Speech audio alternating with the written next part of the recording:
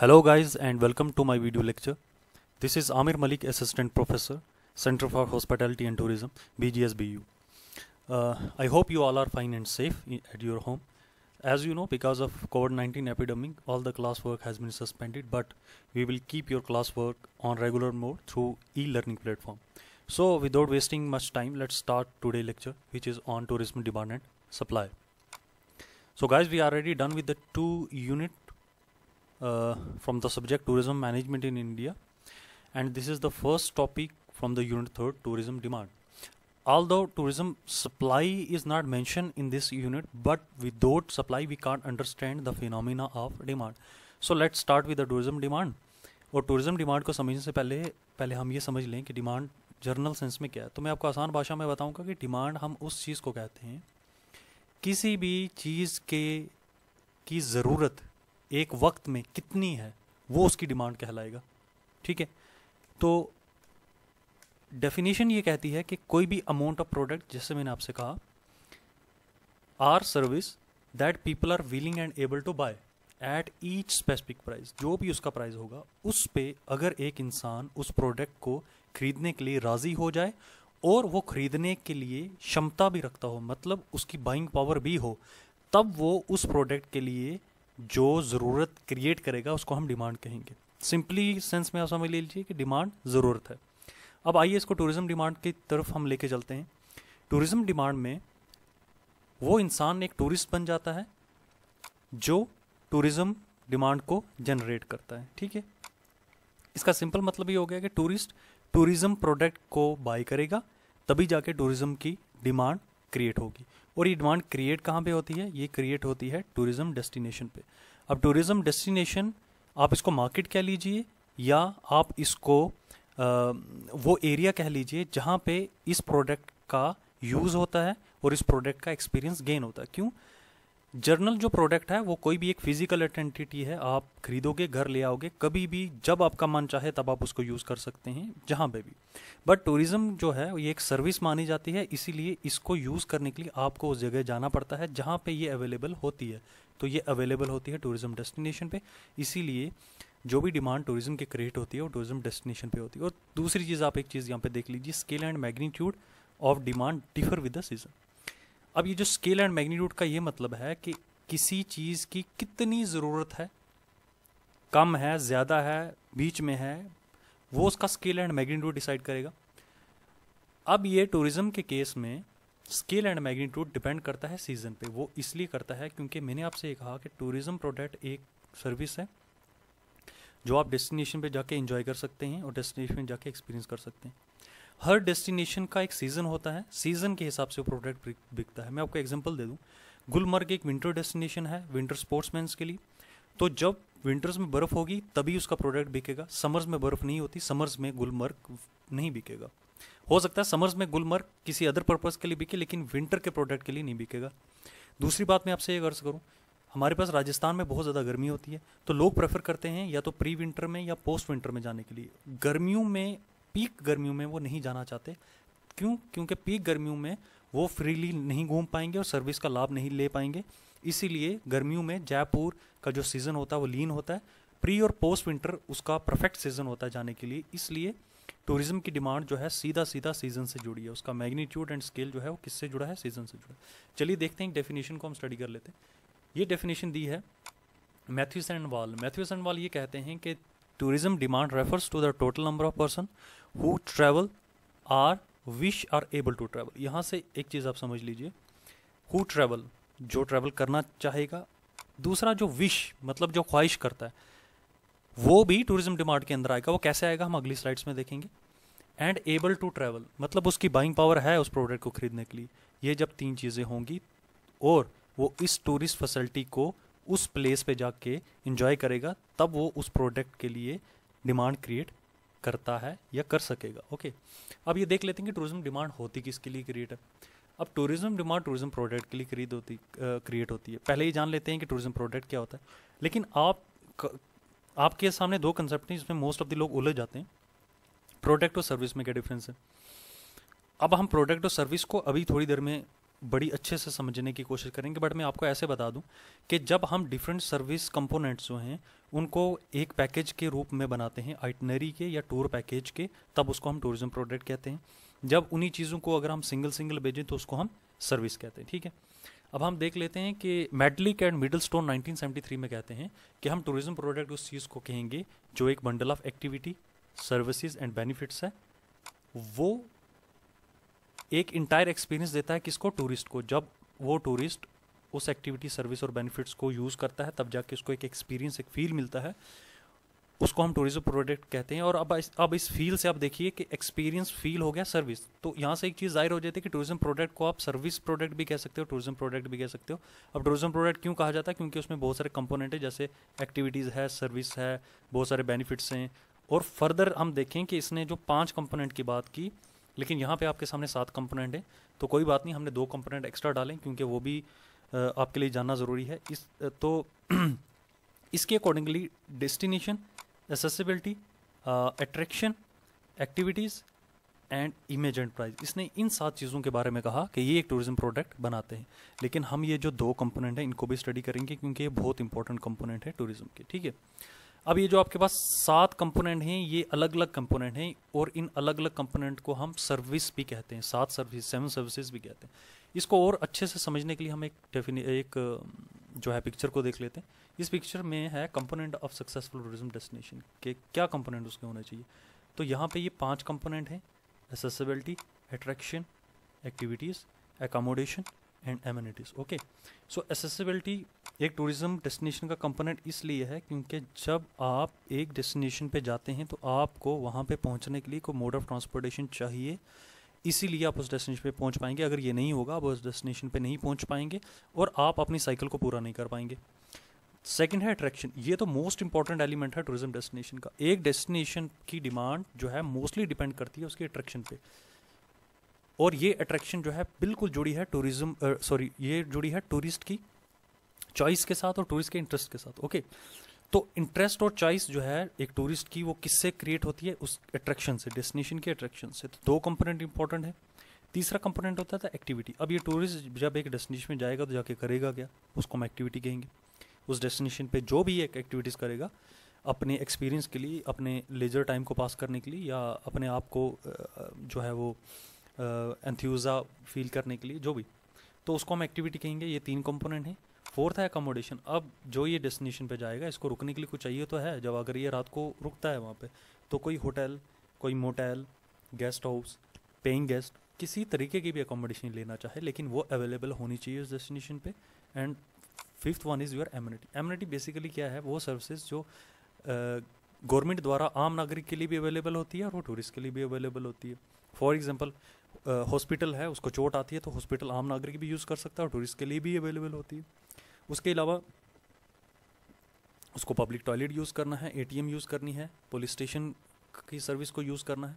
तो ये सब प्रकार की जो सर्विसेज़ हैं उसको हम एम्यूनिटीज़ कहते हैं लेकिन यहाँ पे एक पॉइंट आप आ, मैं ऐड करना चाहूँगा कि कोई भी जो टूरिस्ट डेस्टिनेशन जब वो बनती है तो वहाँ पे एम्यूनिटीज़ को और ज़्यादा अच्छा बनाया जाता है as compare to the previous situation okay तो अब आप यहाँ पे देख लीजिए कि जब ये पाँच जो कंपोनेंट हैं, इनका हम एक बनाते हैं पैकेज वो पैकेज कौन बनाता है? या तो टूर ऑपरेटर या ट्रैवल एजेंट या ट्रैवल एजेंसीज तो ये पैकेज बना के किसको सेल करती हैं? टूरिस्ट को। टूरिस्ट इस पैकेज को जो है वो बाई करता है और इस डेस्टिनेशन पे जाके इस पैकेज को एंजॉय करता है।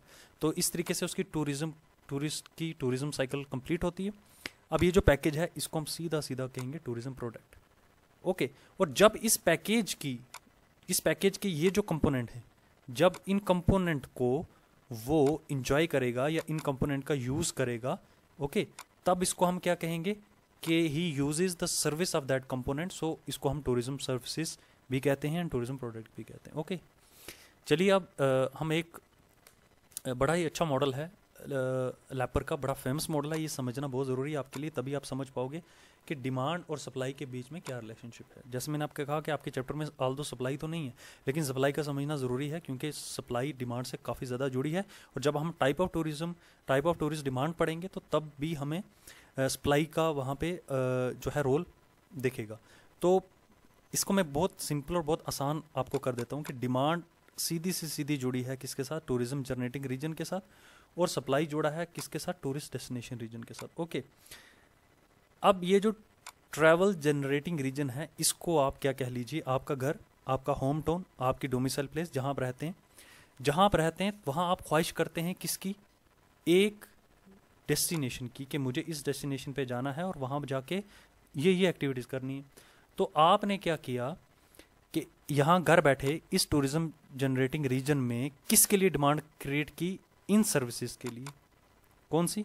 जो आपको टूरिज़्म डेस्टिनेशन रीजन में या टूरिस्ट डेस्टिनेशन रीजन पे अवेलेबल हैं। उसके लिए आपने डिमांड क्रिएट की, कहाँ पे? यहाँ बैठ के। ओके अब जिस चीज़ के लिए आपने डिमांड क्रिएट की, वो आप कहाँ जाके उसको एंजॉय करोगे? इस एक, यहाँ पे एंजॉय करोगे एक, और दूसरा इस पार्ट में करोगे। ये पार्ट क्या है आपका?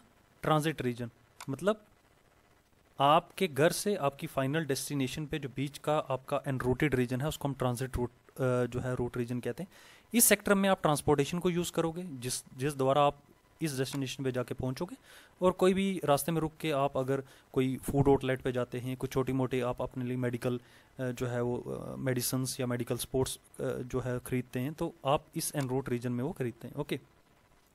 यहाँ पे भी आपको सर्विस चाहिए, लेकिन मोस्टली सर्विस आपको ये चाहिए। अब यहाँ पे आप देखिए, जो आपको सर्विस चाहिए, जिसके लिए आप इस जगह में डिमांड करते हैं, वो आपको कौन प्रोवाइड करता है, वो आपको टूरिस्ट टूरिज़्म एंटरप्राइजेस प्रोवाइड करते हैं या जो भी लोग टूरिज़्म के बिज़नेस में जुड़े हैं वो आपको सर्विस कहाँ प्रोवाइड करेंगे? इस रीजन पे। वो जो सर्विस प्रोवाइड करेंगे उसको हम कहेंगे सप्लाई ओके सो सप्लाई और डिमांड का एक जो है आपस में एक इंटरलिंक्ड है। डिमांड क्रिएट होती है किसके लिए? सप्लाई के लिए। ओके okay, और सप्लाई जब प्रोवाइड होती है तभी वो डिमांड फुलफिल होती है। Okay okay? यह बात समझ गए? ठीक है हम मूव करते हैं नेक्स्ट स्लाइड पे। जो हमारा आज के टॉपिक का फाइनल स्लाइड है, उसमें हम जानेंगे कि टूरिज़्म डिमांड्स कितने प्रकार की होती है ओके तो सिंपली मैं आपको बताऊँ कि बोहिल्स 2014 में उनने ये कहा कि there are three type of demand namely actual suppressed and latent demand okay actual demand बहुत सिंपल है। एक्चुअल डिमांड एक आम प्रोडक्ट की तरह है कि आपने एक प्रोडक्ट मार्केट से खरीदा, आप घर लेके आए, आपको उसने, आपने उसको यूज़ किया तो बस आपने उसकी डिमांड जो उस प्रोडक्ट की थी पूरी हो गई, क्योंकि आपने खरीद भी लिया और डिमांड कंप्लीट हो गई। लेकिन वही केस अगर हम इसको टूरिज़्म में अप्लाई करें तो यहाँ का ये मतलब था कि आपने एक पैकेज को खरीदा और आप एक डेस्टिनेशन पे चले गए, आपने वहाँ पे उस एक्टिविटी को एंजॉय किया एंजॉय करने के बाद आप घर वापस आ गए तो आपने उस डिमांड को फुलफिल कर दिया that is called your actual demand in real sense आपने जो डिमांड क्रिएट की थी, उसको फुलफिल कर दिया ओके सेकंड हमारे पास आ जाता है सप्रेस्ड डिमांड स्प्रेस डिमांड को समझने के लिए हमें दो कैटेगरी को समझने की बहुत ज़रूरत है। One is called potential and second is called deferred demand okay ये क्यों समझने की कोशिश है? ये क्यों समझना है हमें? क्योंकि ये जो स्प्रेस डिमांड है, ये दो कैटेगरी के लोग क्रिएट करते हैं, जो किसी वजह से नहीं जा पाते बट जाना चाहते हैं। They are willing to go but due to some reason they are not able to go at that destination वो रीजंस जो हैं, वो रीजंस कौन कौन से हैं? एक आता है पोटेंशियल डिमांड के अंदर, दूसरा आता है डेफर डिमांड के अंदर। पोटेंशियल डिमांड के अंदर ये कहता है कि वो लोग जो जाना चाहते हैं who are able to travel but due to some circumstances जो उनके कंट्रोल में नहीं है, वो नहीं जा पाते। वो नहीं जा पाते। जैसे मैं आपको इसकी बड़ी ब्यूटीफुल एग्जांपल दूँगा अभी कोरोना वायरस की फ्यू डेज़ पहले मैं पढ़ रहा था कि 35 परसेंट जो टूरिज़्म डिमांड है वो बिल्कुल डिप कर गई है ऑल ओवर दी वर्ल्ड की। क्यों डिप हो गई? क्योंकि बहुत सारी कंट्री ने अपनी इंटरनेशनल फ्लाइट्स बंद कर दी हैं और बहुत सारे लोग अपनी सेफ्टी एंड सिक्योरिटी के लिए दूसरी कंट्री में नहीं जा रहे। उनको खतरा है कि बीमारी हमें भी लग जाएगी। लेकिन बाकी सिक्सटी परसेंट जो थी वो अभी भी डिमांड थी। क्यों? क्योंकि यूएस जो है उसमें फिफ्टी कंट्रीज़ हैं। और यूरोप के कुछ पार्ट्स हैं जिन्हें अभी तक अपनी इंटरनेशनल फ़्लाइट को कैंसिल नहीं किया था तो लोग आ जा रहे थे तो वो डिमांड कहीं ना कहीं क्रिएट कर रहे थे। लेकिन अब जब से वो सारा लॉकडाउन हो गया तो अब ये आप देखेंगे कि पूरी की पूरी जो टूरिज़्म की डिमांड है, बिल्कुल नीचे आ गई है ग्राउंड लेवल पे। ओके और दूसरा, जैसे नाइन इलेवन का अगर हम अटैक की बात करेंगे यूएस में तो तब जब नाइन इलेवन का अटैक हुआ था तो बहुत सारे लोगों ने जो पैकेज खरीदे थे यूएस जाने के लिए उनने सार, सबके सब क्या करे थे कैंसिल कर दिए थे। तो उससे क्या हुआ कि उस वक्त में उस जगह की डिमांड कम होगी। लेकिन लेकिन मैं आपसे ये कहूँ कि बट दूसरी कंडीशन इसने कहा है they become actual demand in future जो demand due to certain circumstances आपने कम कर दी थी या ख़त्म कर दी थी, वो फ्यूचर में जनरेट होगी कब? जब वहाँ के हालात सुधर जाएँगे। जैसे कोरोना वायरस ख़त्म हो जाएगा तो लोग फिर मूव करना स्टार्ट हो जाएँगे पूरी वर्ल्ड में। तो इसका ही मतलब हुआ कि जो डिमांड क्रिएट हुई थी, वो फ्यूचर में जाके वो फुलफिल होगी तो इट मीन्स सिर्फ़ उन्हें पोस्टपोन्ड किया अपनी डिमांड को। बाकी डिमांड ख़त्म नहीं हुई। दूसरा आता है डेफर डिमांड डेफर डिमांड में वो लोग आते हैं जो अगेन पोस्टपोन्ड करते हैं due to shortage of supply अब यहाँ आप देखिए, मैंने आपको लास्ट स्लाइड में कहा था कि सप्लाई बड़ा एक इंपॉर्टेंट एलिमेंट है डिमांड के लिए।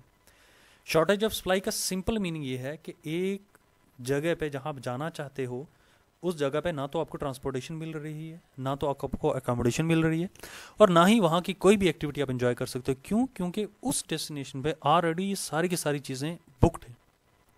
सो सप्लाई इन चीज़ों की नहीं है। आप फॉर आ टाइम बिंग अपनी उस डिमांड को पोस्टपोन कर देते हैं और वेट करते हैं कि जब वहाँ पे सप्लाई क्रिएट हो जाएगी, तब हम उस जगह जाएँगे। तो इस केस में भी आपकी डिमांड वेस्ट नहीं हुई बट बर के फ्यूचर के लिए या कमिंग टाइम के लिए जो है वो सिक्योर हो गई है। अब यहाँ पे एक मैं आपको एक चीज़ बताना चाहूँगा, ये एक बड़ा इंपॉर्टेंट एलिमेंट है टूरिज़्म पॉलिसी एंड प्लानिंग की डेवलपमेंट का। मैंने आपको पिछले लेक्चर्स में बताया था कि इंडियन गवर्नमेंट जब पॉलिसी और प्लानिंग्स करती है तो वो किस तरीके से करती है, उसके अंदर डिफरेंट डिपार्टमेंट्स होते हैं जिसमें एक रिसर्च विंग होती है। रिसर्च एंड मार्केटिंग विंग देखती है कि कौन कौन सी कमी है हमारे यहाँ टूरिज़्म के टूरिज़्म के टूरिज़्म की सर्विसेज़ को लेके। तो यहाँ पे फाइंड आउट होता है कि सप्लाई की कमी है। तो सप्लाई की कमी कैसे पूरी की जा सकती है? हम वहाँ पे एडिशनल एकोमोडेशन करेंगे और एडिशनल ट्रांसपोर्ट फैसिलिटी प्रोवाइड करने की कोशिश करेंगे और अदर फैसिलिटीज़ एम्यूनिटीज़ भी प्रोवाइड करने की कोशिश करेंगे। इससे क्या होगा? हमारी जो सप्लाई है, वो इंक्रीज हो जाएगी और ये जो कंडीशन है पोस्टपोन्ड कंडीशन ये नहीं आएगी। क्योंकि फिर मीन उसी टाइम पे ये पोस्टपोन कंडीशन नहीं होगी, ये कंफर्म हो जाएगी और ये किस किसमें कन्वर्ट हो जाएगी? एक्चुअल डिमांड में। ओके लेकिन अगर सप्लाई शॉर्टेज है तो ये फ्यूचर के लिए जो है पोस्टपोन्ड हो जाती है, लेकिन फ्यूचर में ये डिमांड अगेन से क्रिएट हो जाती है। अब फाइनल हम देखते हैं लास्ट वो है लेटन डिमांड मैंने आपसे एक स्लाइड में अर्ज़ किया था कि मैं आपको वो स्लाइड दिखा भी देता हूँ कि हमारे यहाँ बड़े डिफरेंट डिफरेंट कंपोनेंट्स हैं टूरिज़्म के।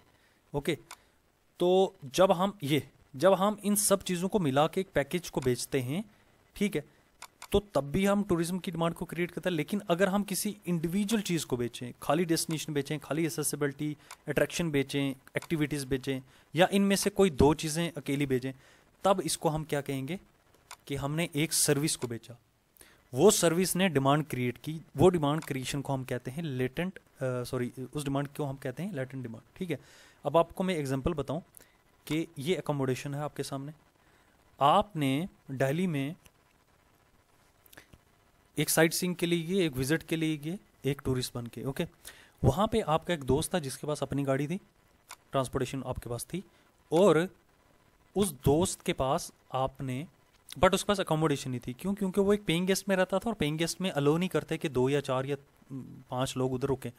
तो प्लस पला, लेकिन उसके पास अपनी गाड़ी थी जिसमें उसने आपको दिन को घुमाया और वहाँ पे आपको किस चीज़ की ज़रूरत पड़ी? एक अकोमोडेशन की। तो आपने किसी भी होटल में अकोमोडेशन बुक कर ली अपने लिए तो आपने एक सिंगल सर्विस खरीदी। वो जो सिंगल सर्विस खरीदी, उसने जो डिमांड क्रिएट की, उसको हम कहते हैं लेटर डिमांड एक single element of tourism product की।